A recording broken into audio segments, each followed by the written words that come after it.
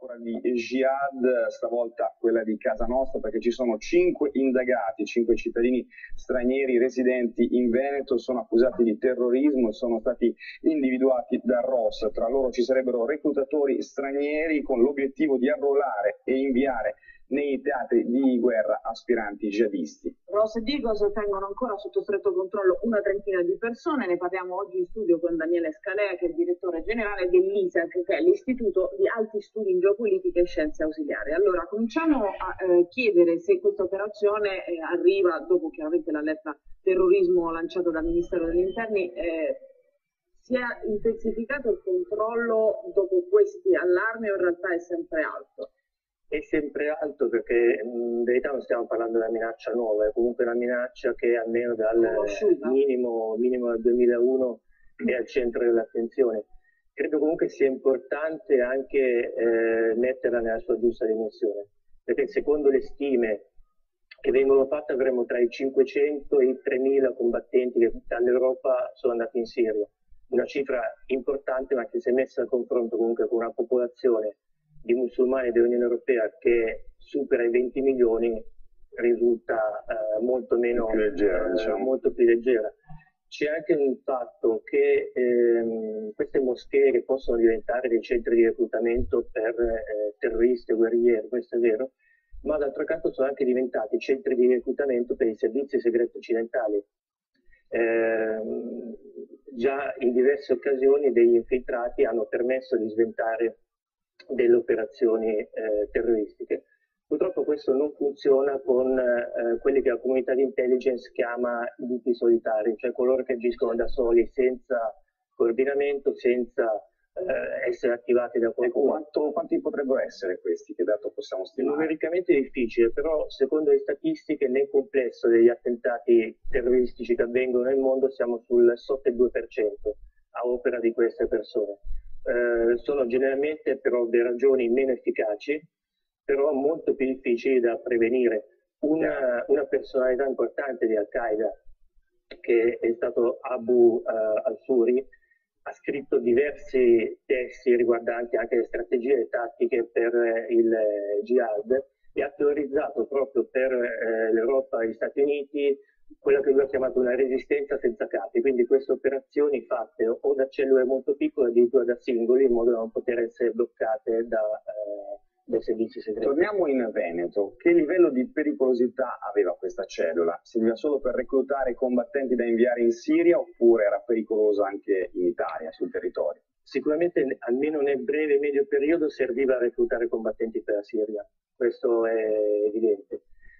Però sono evidenti anche i problemi, cioè il problema uh, del ritorno di queste persone, eh, essere necessariamente ritorno al loro paese di origine, ma dopo che termina un episodio come può essere quello della Siria, e ce l'ha insegnato l'Afghanistan, ce l'ha insegnato i dieci anni eh, di guerriglia in Afghanistan contro l'Unione Sovietica, questi combattenti stranieri si muovono e vanno a creare, a destabilizzare altri paesi per cui l'Afghanistan è seguita la rivolta in Cecenia, è seguita quella in Bosnia, è seguita nuovamente poi in Afghanistan, in Iraq, in tempi più recenti in Libia e in Siria. Quindi si crea questa catena che ovviamente dopo costringe anche eh, i nostri paesi a investire risorse, anche magari a sacrificare vite umane per riuscire a porvi eh, fronte. C'è un altro elemento. Consideriamo che eh, è vero che i, volontari europei non raggiungono eh, le 3.000 unità molto probabilmente, però i volontari che provengono da altri paesi musulmani sono molto superiori. Alcuni di questi vengono da paesi come l'Afghanistan, come la Cecenia, eh, in cui si possono trovare dei veterani. Eh, qual è il vero valore aggiunto che quindi possono apportare questi volontari che provengono dall'Europa? Il fatto di avere un passaporto europeo, il fatto di conoscere molto bene l'Europa e quindi di poter essere utilizzati in seguito per creare delle cellule all'interno dell'Europa. Ci sono già stati de- degli allarmi in questo senso in Gran Bretagna e potrebbe succedere, visto anche il maggiore coinvolgimento che stanno avendo i paesi europei, tra cui il nostro, anche in Italia e in altri paesi dell'Unione Europea. Una domanda tecnica, queste persone vengono, diciamo così, addestrate in Italia o semplicemente reclutate e poi vanno a fare, diciamo così, apprendistato all'estero?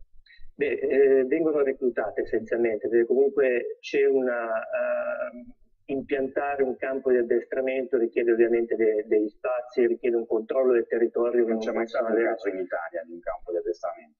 No, eh, I campi di addestramento tradizionalmente erano in Afghanistan e in Pakistan, in quelle aree del Pakistan che hanno eh, sostanzialmente escluso il controllo dell'esercito in Afghanistan perché c'era il favore dell'allora governo eh, che era quello in alcuni paesi dell'Africa anche.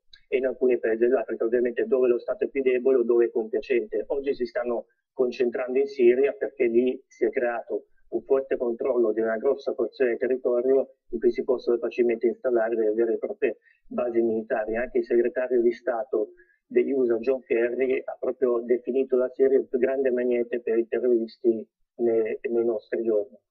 Quanto è credibile poi un ritorno? Perché alcuni vanno a combattere, abbiamo detto, nei teatri appunto di guerra, e altri invece ritornano in Italia. Quanto è credibile la teoria comparsa pochi giorni fa sui giornali che voleva un ritorno attraverso i barconi dei migranti che arrivano in Italia?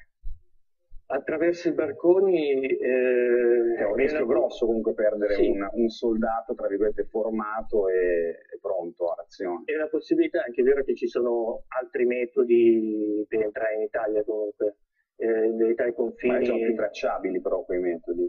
Sì, sono tracciabili, però capisce per una grossa organizzazione internazionale realizzare un passaporto falso, comunque riuscire a introdurre una persona in un paese eh, non, non risulta così difficile. È vero che poi il, il pericolo di coloro che vengono nei barconi e quindi magari sfuggono anche le maglie dell'identificazione è, grosso anche questo L'identificazione quindi è obbligatoria, non è che si può chiedere di non essere identificati. L'identificazione è obbligatoria anche perché in base ai regolamenti di Dublino che l'Italia ha sottoscritto con gli altri paesi dell'Unione Europea più alcuni altri paesi europei come la Svizzera ehm, è previsto che la gestione della richiesta di asilo e la sua eventuale concessione venga fatta dal paese che per primo accoglie i migranti.